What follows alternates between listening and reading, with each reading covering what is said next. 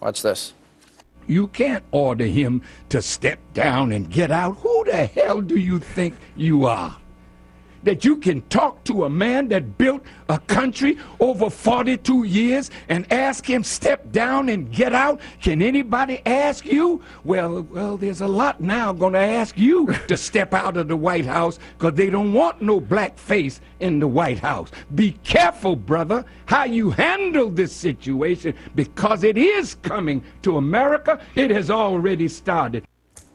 Who the hell do you think you are? Well, look, he represents a minority in the African American community. There's no question about that. But he does represent a certain line of thinking within a certain segment of the African American community. And I want to know why he's calling President Obama his brother. Now, this is is this a racial brother or is it a religious brother? Now, in evangelical and Christian circles, when you call someone a brother, it is someone of like faith. Uh, what does he mean by that?